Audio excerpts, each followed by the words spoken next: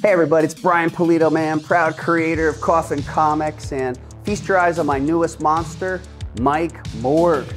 This is the first time Coffin Comics is doing a dude book, a dude monster, an anti-hero. So I want to give you a little insight into this story. So Mike Morgue Necromorphosis is a 48-page square-bound graphic novel which we're going to be offering through Kickstarter on Wednesday, September 11th at 6 p.m. Arizona time but I digress. Let's get a little bit into the story and into the characters, shall we? First up, I'd like to discuss where it really all starts with Dr. Edward Rigsdale.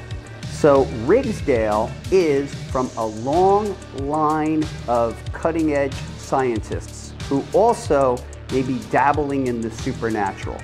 In fact, he is the fourth generation.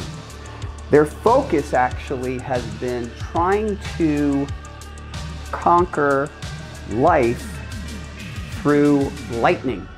So here in this first page of the story, you will see Rigsdale conducting his upteenth experiment. What he really is trying to do is to capture the essence of life, which he believes is inside lightning. And this would help him have control over death. He's looking for eternal life.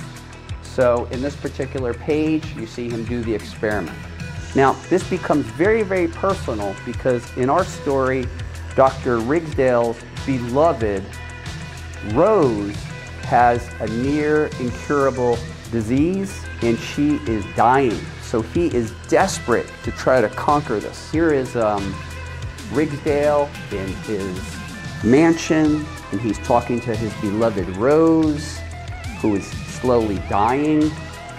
And it really is this motivation that lead him to kidnap people, kill them, and try to return them to life.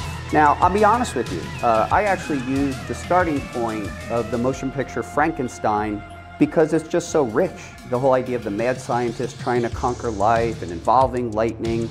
I wanted to do my take on it. So in a way, you could see someone like Mike Morgue as a modern Frankenstein.